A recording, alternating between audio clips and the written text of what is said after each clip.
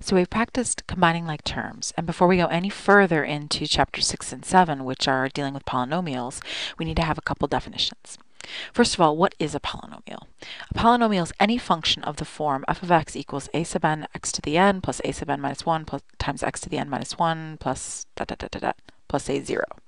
Okay, now it looks really complicated. However, all this is is the math person's way of saying, look, you've got a number times x to a power plus another number times x to another power, and so on.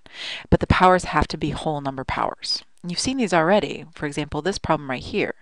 So there's like a sub 3 x to the 3, a sub 2 x to the 2, and so on. It's saying that you have a string of variables raised to whole number power terms, right? Only one variable raised to varying powers, 3, 2, 1, 0.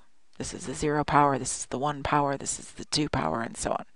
And then all it has is a whole bunch of coefficients in front of each one of them. The leading coefficient, of course, being the one in front of the term with the highest power.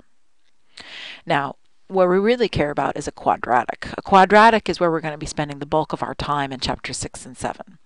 So a quadratic is a polynomial function which can be put into the form f of x equals a x squared plus bx plus c. Okay, so, oh, and a can't be 0. So why can't a be 0? Well, if a was 0, what would happen? 0 times x squared would mean this whole term is 0, and that means it's gone. And then you have a linear function, which is also a polynomial, but it's not a quadratic, right? So a quadratic has to have that second degree term. What's more, it can't have anything higher than a second degree term because if it did, then it would no longer be a quadratic. So a quadratic is a polynomial of degree 2. All right, so this form is called standard form. and It's a polynomial of degree, I just said it, 2. All right, so now we're going to fill in the table of the graph of f of x by hand. Now, you can do this in your head a little bit, like 0 squared. 0 squared would be 0. 1 squared would be 1. 2 squared would be 4. 3 squared would be 8. 4 squared is 16. Everybody knows their times tables. Now remember, for the negative ones, it's the same idea, right? Because if you want negative 1, oopsie, negative 1 squared, that's 1, right? When you square a negative, it turns it positive. Agreed? Okay, so this would be 1. This would be 4, because negative 2 times negative 2 is 4. Just making these bold. Negative 3 times negative 3 is 9. Negative 4 times negative 4 is 16. So all of these turn positive. Now you're going to plot those points on the grid and then graph them.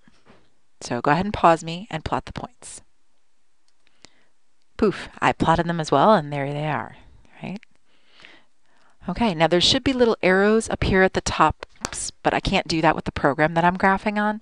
But technically this parabola keeps going and going and going forever and ever and ever. And if you ever want to get some more points out of it, what you can do is you can go to y equals on your calculator, type x squared. I particularly like the x squared button down here. So I press the button x and then I press the squared button. Um, or you could do X caret, that's this little button right there, 2. All right. And then I could go to the table and get a whole bunch of points out of it, right? See, negative 3 goes to 9, negative 4 goes to 16, and so on. And then I'm going to do just kind of a regular window so we can see it. If you want a window that matches the one that we had, you'd have to go to Window and type, oh, what were they? Hold on, I got to go back negative 6 to 6 and negative 6 to 18.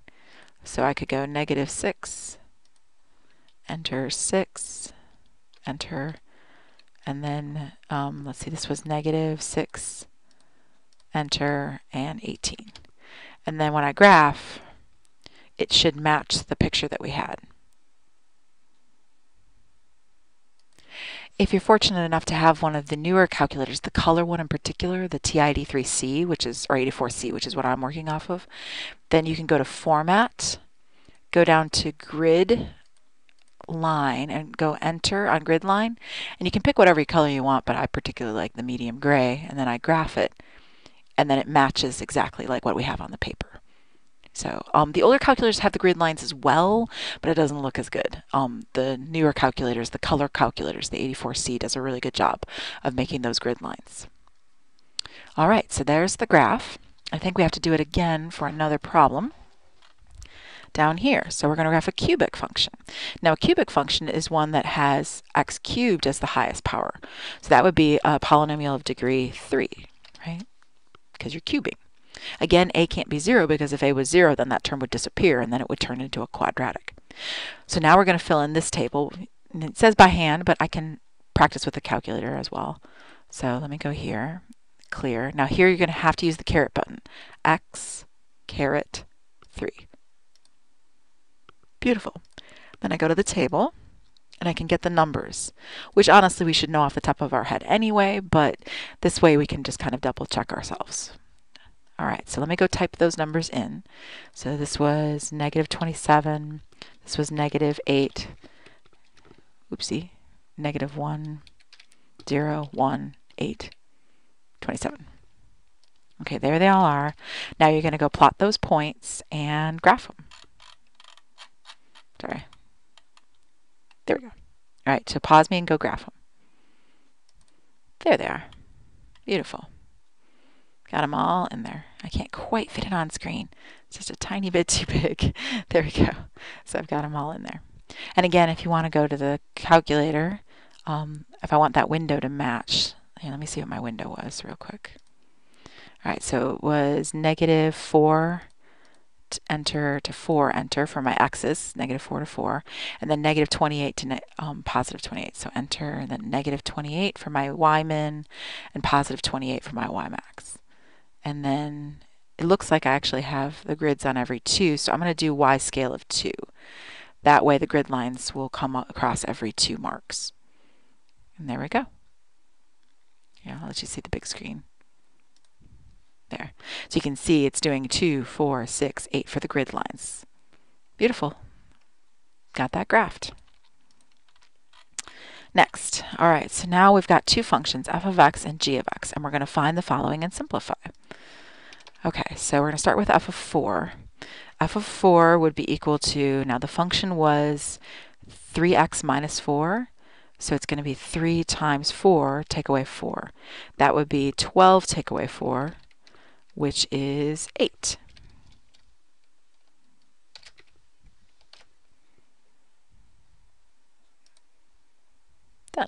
That's just kind of a review question. We've already had that question back in chapter 1, I believe. No, chapter 2. Chapter 2. All right, so now we're going to do it again, but with g.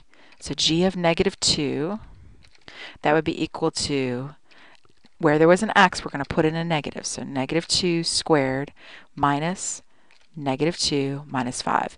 And for the love of goodness, when you're doing substitution with a negative number, be sure to use parentheses because otherwise you will not do it correctly. I promise. All right, so this is 4 because negative 2 squared is 4 plus 2 because minus and minus 2 is plus 2 minus 5. And so that would be equal to 1.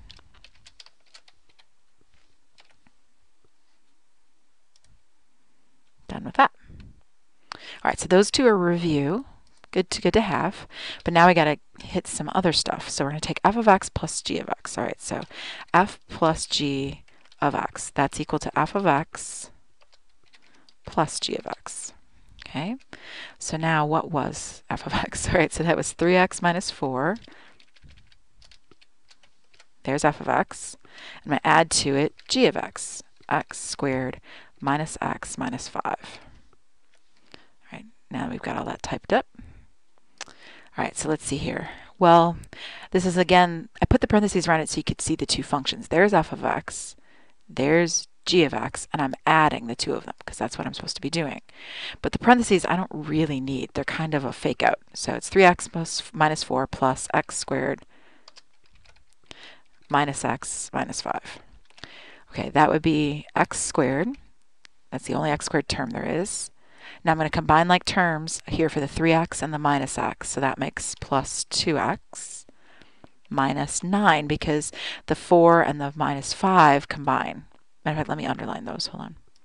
Poof, there we go. All right, so the 3x and the x I double underline because they're like terms. And then the minus 4 and the minus 5 I single underline because they're like terms. They go together. And there we go. So there's f plus g of x. Done with that. All right, now for D, it's the same kind of idea, but it's going to be a subtraction. So hold on.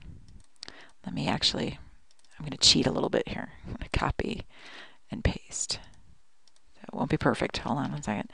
All right, I know there's a couple ways to do this, but I want us to practice with subtraction. So I'm going to put a subtraction sign in here because those are the ones students usually have a harder time with. All right, so now the parentheses actually kind of do matter because what I want to see is that I have to distribute this negative to all of these in here. Let me make a note. Distribute negative. Okay, so that's minus x squared plus x plus 5. And then let's combine some like terms. So that's negative x squared. The 3x and the x make 4x and then minus or plus 1 because minus 4 plus 5 is plus 1. So there's f of x or f, f of x minus g of x. There we go. I can say that. Okay, but that wasn't what we were really looking for. What we want is f minus g of 1. So let me find f minus g of 1. That would be negative 1 squared. I think it was 1. I better double check that before I do this whole problem. Yep, it's 1. Okay, so let me go back. Um, let's see, plus 4 times 1 plus 1. That would be equal to uh, negative 1, because 1 squared is 1, so negative 1 plus 4 plus 1. And that's 4. Done. So that wasn't the only way we could do that problem, but I think it's for the best for us to practice with our subtractions, because those are harder. Speaking of subtraction, let's look at this problem. So we have the revenue and costs, both in millions of dollars for Southwest Airlines at T years since 2000, can be modeled by these two functions. So we're going to find an equation for R minus C by hand. Now, revenue is money coming in. Take a, if you ever take a business class or accounting class, you'll find that out. So revenue is money you make, costs are the money you spend. When you take the difference, what you're really finding is um, here, R minus C is equal to profit. Right? Just a little note to yourself. Okay, so now I need to take these two functions and subtract them. So I'm going to take r of t, take away c of t. Let me type those in. Poof, there they are. Okay, so r minus c of t, that's r of t minus c of t. So I take the revenue function and take away the, the cost function. So this is going to mean I'm going to do 183t squared minus 581t plus 5964. And I'm going to subtract 102t squared plus 100t, because you got to distribute that negative, minus 4897. Okay, so this is 81t squared minus 471t plus, oh, I got to go find that. Hold on. Oops, let me bring up the calculator. All right, so what was that number again? 5964, take away 4897, enter 1067. Okay, so plus 1067. There's your function. Oops. There it is. Beautiful. Okay, so now they want us to find r minus c of 10. So we're going to take 10 and plug it into that function that we just found. Oops. All right, so perfect. There's the function. So instead of t, I'm going to put 10 in parentheses. Parentheses is just a smart way to substitute. All right, so we're going to make the calculator do this. So let me bring up that calculator. Oops. Here, it's right here. So I want 81 times 10 squared and then minus 471 times 10 plus 1067. Enter. 4457. Which should go right there, 4457. Now the question is, what does it mean? Let me type that up. Hold on one sec. That means that the model predicts that Southwest Airlines has a profit margin, because revenue minus cost is profit, of about four four five seven million dollars in 2010.